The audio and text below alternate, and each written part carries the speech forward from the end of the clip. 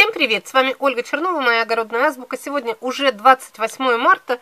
Сейчас быстро-быстро посмотрим все вчерашние вопросы-ответы, комментарии, поговорим и пойду пикировать. Я всю эту неделю пересаживаю из маленьких стаканчиков в большие. Уже подходит такой период, что вот эти тепличные томаты разрастаются. Сейчас очень-очень много у меня забот и хлопот. И вот вчера новое видео выложила про огурчик, как выращивать на балконе, и про дополнительные корни у томатов, которые требуют пересадки. Сейчас вот посмотрю вопросы, какие пришли, отвечу быстро. Вот про Ульяна Колесникова пишет также, что клубнику на подоконнике у меня выращивала. Кто в прошлом году меня смотрел, видели, наверное, я простую. Королева Елизавета II выкопала с грунта в лоточек, и у меня тоже она, ну как бы в импровизированном балконе, вот в моей придомовой теплице, тоже она и цвела, и плоды завязала, поспели несколько ягод, но потом она меня летом, я когда ушла в огород, работать. Ну, забыла о ней, она мне засохла. Вот хочу еще раз напомнить о том, что самая главная сложность выращивания на балконе, там, на лоджии, в том, что все эти растения, они в отдельной таре, и у них мало там земляной ком маленький, он пересыхает очень быстро. И иногда в жаркий период нужно поливать прям два раза в день, утром и вечером, потому что полив утром вот этот небольшой горшочек, к вечеру, если жарко, он уже все пересыхает, растение может погибнуть. Вот у меня была у моей клубники такая участь в прошлом году, что земляной ком засох, и она погибла, все. Конечно, в грунте мы клубнику летом не поливаем, не бегаем, а вот на, если на балконе будете выращивать, надо за поливом следить. Вот Елена Зайцева пишет, говорить, пожалуйста, где вы живете. Я уже иногда не говорю, думаю, что все знают. Сибирский регион, Алтайский край. Но оказывается, люди не знают. Так, вот про лампы. Фитолампа рекламный ход, Зинаида Артемова пишет. Но про лампы мы уже поговорили, решили, что у кого деньги есть, можно покупать фитолампы, пожалуйста, они такие же хорошие, вот как пишут, и полезные, и все. Но если у вас ну, со средствами не очень, то не обязательно разоряться, можно и под простыми лампами вырастить хорошую рассаду. Вот Муся Маринина пишет, при какой температуре закаливание происходит? У меня на балконе 10 градусов, можно ли выносить? Но я бы посоветовала все-таки до 15 градусов подождать, потому что 10 градусов я называла уже как критическую. Вот у нас, мы когда оставляем уже на ночь, мы оставляем ну, когда 12, 13, 15, а спускается, когда до 10 градусов, вот бывают периоды холодные, то я все-таки уже заношу. Закаливать ее хорошо, но сильно тоже ее подвергать таким испытаниям, потому что что засуха, что похолодание для растений все-таки стресс. При 10 градусах я не стала бы оставлять, все-таки дождитесь хотя бы 13-15, чтобы они закалялись, но немного в комфортных условиях. Вот Кубанское подворье пишет, просто жалуюсь, три дня назад посеяла последние томаты, сегодня утром не заглянула, стояли на теплом полу, вечером открыла, там лес из растишек, ножки тоненькие, беленькие, как поганочки. Ничего страшного. У меня сколько раз, я вот в прошлом году показывала, же забывала на шкафу неделю целую они росли без света, вот как шелковые маленькие ниточки. Вам просто нужно прям чуть-чуть только они вот чуть подрастут, поскорее распекировать, заклубить до семидолей, и они растолстеют, ничего страшного. Я, я насчет этого, вот когда такая рассада получается случайно, даже не расстраиваюсь, все можно исправить. Пишет Ольга, Барбина, подскажите, пожалуйста, почему вялая рассада томатов? Ну, это я вам... Это я вам, вот как просмотренное отмечу, ничего даже не могу сказать, не знаю. Может быть, не хватает влаги, может быть, грунт не нравится, кислотность какая-нибудь неподходящая. Никто вам заочно не скажет, извините, конечно. Есть такие вопросы, на которые я даже ну, что сказать? Я могу что сказать, что подкормить ее? Нет, конечно, я так говорить не буду. Не знаю, в каком смысле вялая. Листья подвидают или сам стебель такой мягкий, эластичный, вялый. Я даже не поняла вопроса. Так, вот это про воздушные корни. Вот опять, чем досвечиваете рассаду? Не знаю, уже столько много видеороликов, только что говорю, говорила, но, может быть, люди только зашли. Виктория Корнюшенкова спрашивает.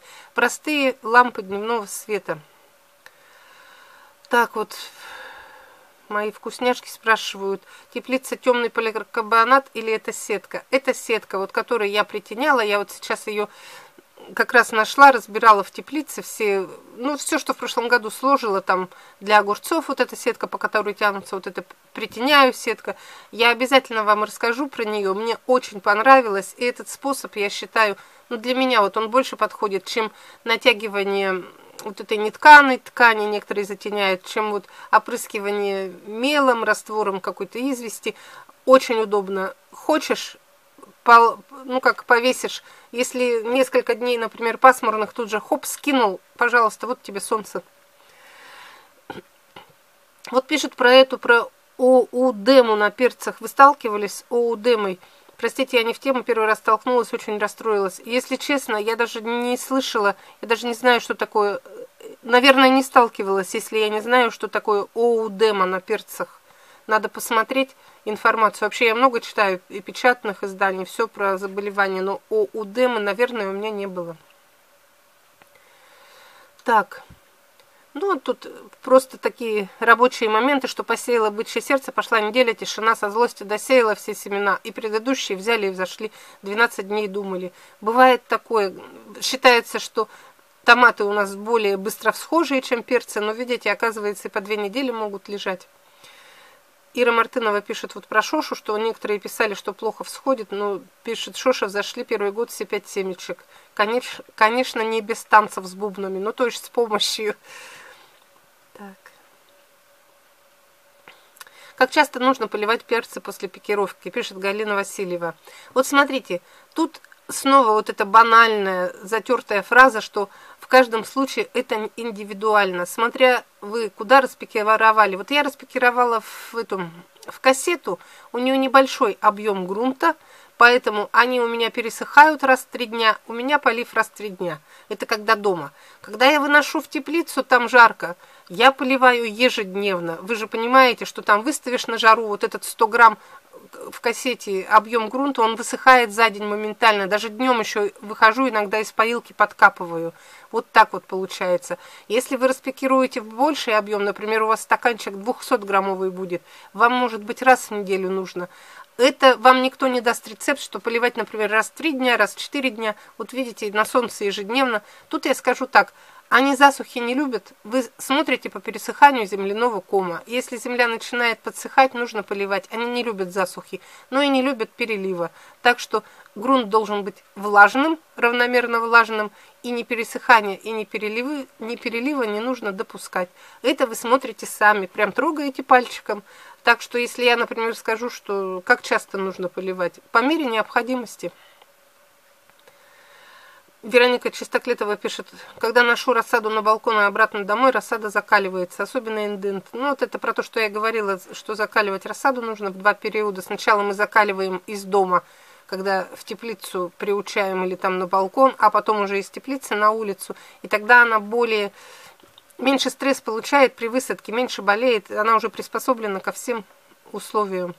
Вот пишет клан сибирских цветочниц, что да, наблюдательный огородник все знает о своих томатах. Конечно, если мы следим за их жизнью и удовлетворяем их запросы, и они лучше растут. Так. Роза Липатова пишет, моя лампа всего 60 сантиметров, купила за 700 рублей очень понравилось, так как под ней не тянется рассада. Вот сейчас огурцы, капуста. Ну, я рада, это, наверное, про фитолампу она пишет, в защиту фитолампы. Я рада, что вам нравится фитолампа. Ну, 700 рублей, конечно, дороговато. Это хорошо, вы купили одну. А вот у меня, например, 4 стеллажа, и на каждом стеллаже по 5 ламп. Посчитайте, во сколько это обойдется. Потому что, ну вот поэтому, может быть, я обхожусь простыми, потому что и дорого, и разницы не увидела. А одну-то лампу можно купить, разориться, если кто-то, например, мечтает, как я раньше мечтала фитолампу купить. Я целый год мечтала купить фитолампу. У нас в городе они вообще не продавались, были новинки. Я и в интернете пыталась заказ сделать никто не вез. И, ну, тоже купила за 700 или за 800, заказала, привезли в какой-то садовый магазин, купила.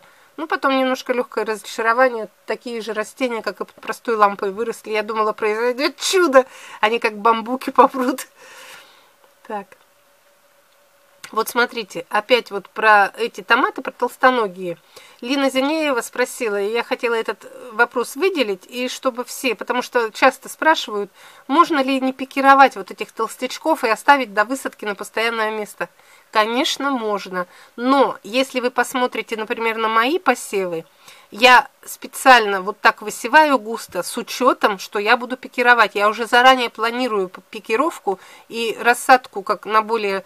А если вы хотите вырасти без пикировки, они вырастут. Вы просто делаете разреженный посев. Ясно, что вот в такой такая вот орава, где они, они сейчас начнут разрастаться, как каши, они будут друг друга задавливать, выдавливать, и они потом такой шапкой огромной стоят.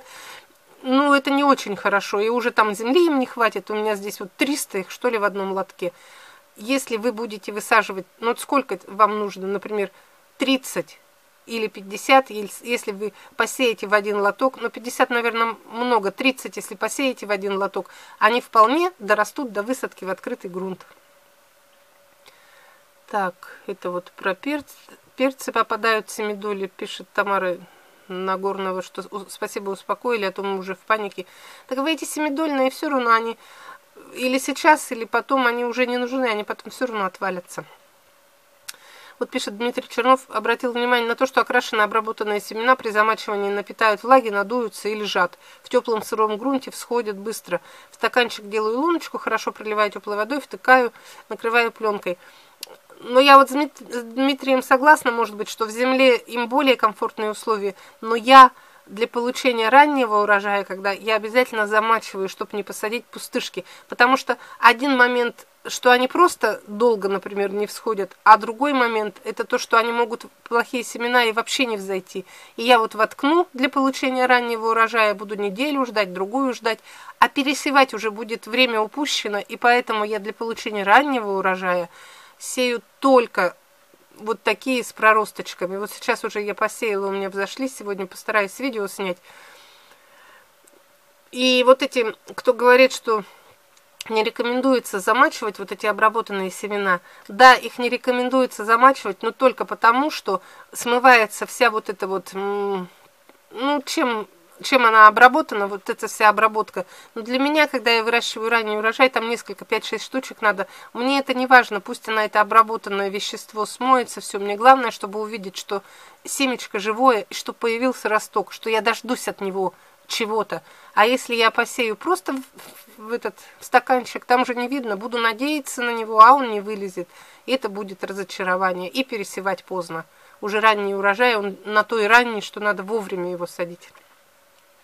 Так вот пишет Галина Савина, что не смогла найти меня в Одноклассниках, какое, это же фото или нет. Я объясняю, что кто хочет найти меня в Одноклассниках, просто заходите вот в эти Одноклассники, пишите Чернова, Ольга, город Бийск, 58 лет. Фото не это, не тут, где я это, в белом платье. А там я на фоне огорода, у меня на голове венок из чеснока, висят вот здесь у меня на шее косы плетеные из лука. Это как раз был август урожай, я наплела этих кос, и перед тем, как, ну, унести на хранение, так со снохой баловались, нарядились, навешала все на себя, говорю, урожай. Ну вот она у меня такая осталась, ищите, где я в венке из чеснока. Там есть еще одно, где я в меховой белой накидке, но это старая страница, я ее не могу никак удалить, она болтается пустая там. Так. Вот пишет Лора, в прошлом году посадила сорт Настенька, выросли другие плоскоокруглые, плоскоокруглые, крупные, малиново-бордовые, были вкусные. Но вот Настенька, если настоящая, она вот должна быть вытянутой вот такой формы. И многие почему-то пишут, что вырастает Настенька совсем не та, или это пересортится, или это другой сорт. Но вообще про Настеньку хочу сказать, что очень много всяких есть. Настюша, Настена, Настя, Настенька. То ли они имитируют этот сорт, то ли он такой же, но просто другое название, потому что они не могут одним названием другая фирма назвать. Там авторские права какие-то все. Я не знаю, но вот у меня Настенька именно не гибрид. А, еще есть гибрид, Настя, Настенька. Именно не гибрид, а именно сортовой, из которой можно собирать семена, а она вытянутая, вот как типа бычье сердце, такое что-то форма. Ну, вы видели, наверное, я в прошлом году показывала, плоская округлая, это точно не та Настенька. Вот пишет Елена, что живет в, в Казахстане 7-8 марта, высаживает теплицу и редис, морковь, свеклу, различные виды салатов. И по периметру возле стенок лук крепку на зелень отдает всю зелень, не помешает основным. Но это была тема, вот что зелень сейчас можно уже садить. И вот здесь опять, там, где я считала, что с квадратного метра, опять мне пытают, пытается научить, что ли, квадратные метры высчитывать. Тут столько много цифр, вот сами посмотрите, сантиметры, метры. У меня даже, ну, если честно, мне не важно, там точно я написано, что будем считать, что эмоциональная оговорка это ну, я не знаю, чем будете считать. Но я, ну, то, что люди поняли, что я имела в виду, прям на маленькой-маленькой кромочке земли, вот вдоль теплицы до приступочки, до пяти ведер можно получить томатов, хотя многие пишут, что у них эти места пустые, они просто пропалывают, и просто как утепляющий элемент, а я вот дала идею, что можно засадить томатами очень много. Ну, будем, уже писали, что вы плохой математик, плохо считаете. Я согласна, плохой математик, считать не умею неважно. Такие выкладки большие математические мне прислали. Они, вы не понимаете, что ну некогда мне все это читать и считать, и действительно снова начинать арифметику изучать.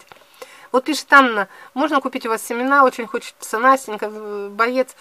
Аня, я сейчас с семенами ни с какими не работаю, только на рассаде, потому что перед тем, как получить семена, их же надо вырастить. Вот сейчас я занимаюсь пока что выращиванием семян. Все заказы, все заявки буду принимать с 1 сентября, и пока у меня не будет реальных семян в руках, я не принимаю ни заявки, не выставляю ни каталоги, продавать кота в мешке я не собираюсь. Сначала мы их получим, а потом мы будем их продавать. Так, так... Пишет Наталья, привет Западной Украине. Я даже у нас нашла семена торговой марки «Сибирский лес». Буду впервые пробовать. Вот Александр пишет, когда в теплицу будем высаживать, в 2018 году высадила 9 апреля, в начале июня было полно красных помидор. Но я 9 апреля, конечно, не могу высадить. Я живу в сибирском регионе, повторяю еще раз, Алтайский край, у нас в апреле очень холодно, и у меня нет, вот у некоторых там какие-то трубы проведены в теплицах, греющие кабеля. У меня ничего этого нет, я высаживаю в реальные такие условия, то есть, когда теплица прогреется с помощью солнца вот этот верхний слой, когда нагреется. В прошлом году высаживала в конце апреля, 28, 27, 29. За день же, конечно, я не высадила, но вот последняя декада апреля я высаживала. Но опять же, бывает, что у нас последняя декада апреля как даст минус 10, минус 7, тогда перенесу на начало мая. Все это время у меня они будут стоять в придомовой теплице. Но у меня сложные тоже, вот у вас Хакасия, если вы 9 апреля высаживаете, вы недалеко от нас ушли, такие же условия, значит, там какие-то у вас есть дополнительные условия, а у нас в это время грунт еще очень холодный. Ну, конечно, стоять они у меня уже будут в теплице в это время. Просто я закопать их в землю не смогу, потому что у меня там земля еще холодная в это время. Так, вот пишет Нинель Кизельбах, что все ясно, понятно, но хотелось бы узнать, семидольные листочки оборвали заранее или сразу при пикировке? Если говорили, что... Если уже говорили, извините за невнимательность. Да, тема была... Вот смотрите, я семидольные листочки убираю только в том случае, если я, например, смотрите, пикирую или пересаживаю, если эти семидольные листочки приходится вот заглублять томаты, если они попадаются туда, в грунт, их приходится заваливать. Я смотрю, что я буду заглублять выше семидольных листочков. Тогда я прям сразу же в это время отщипываю, вот, ну, ногтями отщипываю, тут же заваливаю землей. Если это при перевалке или при пикировке, вот иногда высокорослые вот эти пикирую, то семидольки у меня остаются, потому что это просто лишнее время вот их отщипывать. И первую пикировку я делаю, я их вообще не отщипываю. Но если в дальнейшем, опять же, я буду заглублять дальше, я прям тут же раз-раз их ногтями об это обкусываю и выбрасываю, тут же землей заваливаю. Я просто когда-то много лет назад прочитала, что если закапывать в грунт вот этот листик, он там, конечно, начинает же перегнивать, это же органика, это же, и может развиться там вот эти в месте вот этом, где он перегнивает, может развиться инфекция, поэтому я их стараюсь убирать. Но это просто я уже начала много лет назад так делать, сейчас всегда так делаю, может быть, можно и с семидольками закопать, но я так не закапываю. Но опять же говорю, это не обязательно, что это единственно верно, это правильный метод. Может быть, кто-то с семидолями закапывает. Не знаю, я же не могу заглянуть там в другие, как огороды, кто как делает. Я делаю так. Так. Угу. Наталья Самойлова пишет, что раньше жила в южных республиках, где бросил в лунку, потом рыхли и поливай. Теперь живу в Сибири. Пока все получается. Но в Сибири, конечно, сложнее, чем... Так. А вот про огурец на балконе, вот кто будет выращивать, я говорила, что будут люди давать комментарии. Ирина Горшкова пишет, что выращивала три раза, но не каждый год. И 10-12 штук получалось, всегда заканчивалось одинаково, листья начинают терять зеленую окраску. Но я вот старый лист тоже внизу убираю, как начинает желтеть, я его просто обрезаю. Ну, тут ей дают советы тоже. Если огурец срываешь, что лист тоже нужно убирать, он уже не нужен. Вот кому интересно, почитайте. Тут комментариев много, я все же не буду читать. И вот пишет Елена Верткова, Оля, они у вас такие большенькие, красота, литровые такие рано пересаживать. Вот такие, как я вчера пересаживала в полкилограммовые, их вполне уже можно и в литровые, потому что они уже готовы. У кого есть условия, их можно даже уже и в теплицу высадить. Но я в литровые не высаживаю по техническим причинам. Если я все пересажу в литровую тару, у меня не будет места, не хватит на стеллажах. Вы представьте, насколько увеличится площадь вот эта вот, которую нужно освещать, где нужно их ставить. Я пока в поллитровых посидят. Как только я начну оставлять в придомовой теплице, я быстро их перекидаю в литровую тару, а может быть даже уже сразу по ведеркам, по большим. Вот Петр Вайцешко пишет. Извините, если неправильное ударение на фамилии. Фамилии все разные, иногда незнакомые. Сразу посадили лук в мобильные грядки. Снега давно нет, ночи морозные. Ну ничего, он выживет. У меня тоже. У нас сегодня минус 8, минус 9 ночью было. А, вот хотела я вот этот вот, не знаю, как назвать, галина, по-моему. Скажите, у каких сортов у этих самые крупные плоды? Это вот те толстоногие, про которых я говорю, которые неприхотливые. Они идут так. Конечно, Настенька самая крупноплодная, у нее может быть плод до полкилограмма вырасти. Опять же, при соблюдении агротехники, при хороших условиях.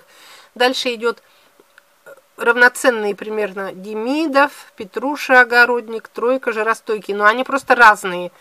Одни круглые, другие вот так вот вытянутые, например, Петруша и Тройка Сибирская вытянутая, а Жиростойкий круглый и Демидов круглый, но Демидов розовый, а Жиростойкий красный. Все там, их очень много, и, и метелица может крупная у вас вырасти. Просто у меня вот в таком режиме ответов я не могу все сорта эти описывать. Рассказала вот какие самые крупные, Дальше, так а есть видеообзоры летние, смотрите, вы там увидите, я, по-моему, и размер плодов показываю, рассказываю. Так. Вот пишет Олеся Иванова, у нас на Дальнем Востоке есть своеобразная толстоногие, это топтышка Дарсу Кстати, я топтышку в прошлом году выращивала, мне присылала Вера Рязанова, она мне присылала топтышку, саммит, там еще какой-то. Я в этом году тоже буду садить. Просто я в том году топтышкой высаживала прям несколько кустиков. Я видеообзор не делала, потому что я сама еще ну, ладом не знала, что это за сорт, но я его буду высаживать. Он тоже похож под вид, как на клушу, вот на Демидова, вот что-то, да, из этой серии толстоногий. Вот он дальневосточник. Вот пишут, что на улице плюс 5, снег тает, а на даче снег по колено. Ну, бывает такое. Вот пишет Елена Колмакова про вчерашнюю перевалку. Оля, а почему вы нижние листья не убираете? Они нужны растению? Да нет, я их убираю. Просто вы понимаете как. Я вот, например, начала, начала сейчас эту перевалку. И я вот делаю только переваливаю, переваливаю, переваливаю, переваливаю, переваливаю, чтобы в один день как можно больше вот этих вот перевалить. Листики я могу убрать потом в любой день, завтра, послезавтра. Просто чтобы вот как, когда каждая минута дорога, я не отвлекаюсь. Я вот какие неси они с какими листьями, те и перевалю. Когда они сейчас постоят день-два, начну их выносить на улицу. Я когда делаю полив, и сразу нижние смотрю, если он уже не нужен, он уже у самой земли, я их раз или маленькими ножницами, или отщипываю, да, я их убираю. Потому что, когда я их буду высаживать, я все равно буду заглублять, и вот эти нижние один или два листа я при заглублении всегда убираю они не нужны. Во-первых, чтобы не очень высоко были кисти над землей. Во-вторых, чтобы корневая система побольше была. Но я всегда убираю. Некоторые не убирают. Я вот вижу, что некоторые высаживают и прям даже семидоли выше вот этого грунта. Но я почему-то у меня так повелось, я всегда немножко заглубляю. Кажется, что чем больше корневая система, тем лучше. Ну и, во-первых, и полив реже нужен, потому что немножко побольше корневой системы. Но там объяснять долго не буду. Я убираю нижние листики. Один-два, они уже обычно желтеют через месяц-другой.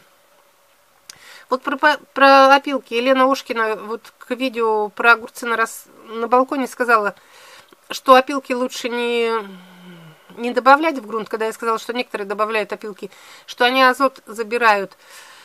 Ну, а я написала, я не добавляю никогда опилки, но опилки, кто умеет, они добавляют, и они никакого вреда не доставляют. А вот то, что они забирают азот, просто есть такая технология подготовки опилок. Ясно, что сухие опилки насыпать их не нужно. Они действительно в себя весь азот из грунта впитывают.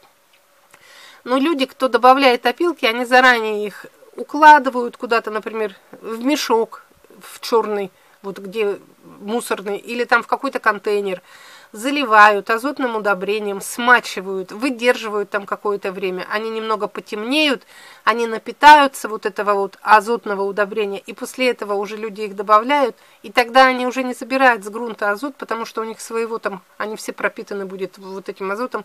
И, ну, я этим, я сразу написала, что я этим не занимаюсь, у меня просто места, ой, времени нет вот на подготовку этих опилок, места лишнего нет, у нас участок маленький, то одно, то другое. И... Но есть люди добавляют, и кому-то это нравится. Наталья Орлова пишет, вопрос не по теме. Древесной золы нет, а золы от сожженной соломы много. Можно ли? Конечно, можно. Вообще зола вот это вот не только древесная, зола от сжигания вот этого, как сказать, листвы, вот что осенью собираем, от сжигания вот этой соломы, все это можно использовать там единственное, что у них разное содержание, вот калия и фосфора, где-то больше, где-то меньше, но все это применяется, если, сразу говорю, что если только единственное томаты и картофель были заражены фитофторой, то не рекомендуется вот после их сжигания вот это вот золо добавлять опять снова на участок. Но вообще, может быть, при сжигании оно все уничтожается. Не знаю, я никогда выбрасываю всегда это все не сжигаем мы. У нас в городе не, разрешено вообще ничего сжигать. Так. Тоже так делаю перевалку.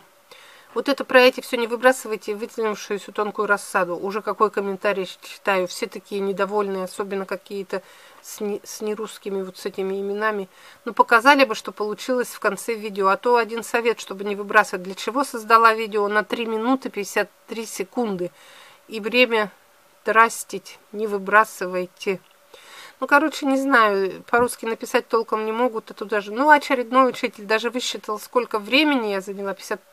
Но я написала, что я показала летом, я показала потом после, после того, как я распекировала, я показала, как они жили, показала летом вот этот штраух, какой он дал урожай, все это показано. Ну, у кого времени нет, то комментарий не сидит, не пишет, не высчитывает, сколько секунд он затратил на этот видеоролик, я так считаю. Какой размер стаканчиков? Вот тоже видео все показала, все рассказала, там все озвучено. Не смотрят, не досмотрят до конца, а потом пишут вопрос, какой размер стаканчиков. Я написала, размер озвучен, ну вот люди написали из 200-граммового в 500-граммовый. Чтобы знать всю информацию, ну досмотрите до конца видеоролик, чтобы потом не ждать, вы то ли дождетесь ответ на вопрос, то ли нет. Но в видео, если я показываю перевалку, я, конечно, озвучиваю, что стакан сначала был такой, а потом пересаживаю в такой. А у нас, по-моему, всего два размера, 200 мл и 500 мл стаканы. Так, вот последний сейчас отвечу про эти, пикирую или нет, вот эти низкорослые томаты. Опять вот я только что на подобное отвечала, но сейчас скажу, что можно низкорослые и не пикировать, но я пикирую, потому что, во-первых, я уже показывала, что я сею загущенно, чтобы они поменьше места занимали и с учетом, что я буду обязательно их пикировать. Но, вот, например, которые я выращиваю в тоннелях, то я дома их не пикирую. Я посею загущенно, они месяц растут, потом я их сразу рассаживаю в открытый грунт в апреле под пленку. Все, это значит, они у меня дома не пикируются. Опять же, вы можете не пикировать. Я вот написала, что если вы посеете рано, то, конечно, нужно пикировать. Но можно не пикировать, если будет разреженный посев. Опять же, вот то, что я говорила.